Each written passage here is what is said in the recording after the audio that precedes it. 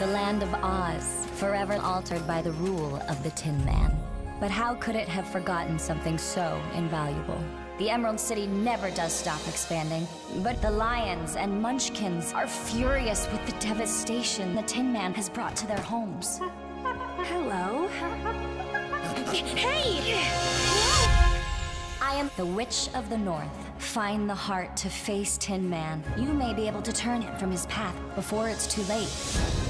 I can't stay here, not when there could be problems only I can fix. You've never even been up topside. I'll be your escort. Let's go. The cowardly lion? Don't inflate his ego. That's Magnus. I'm going to help them see that we can all be a part of Emerald City.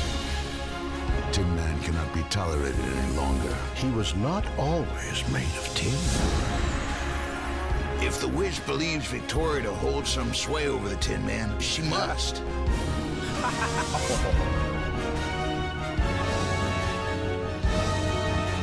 A heart is not judged by how much you love, but by how much you are loved by others.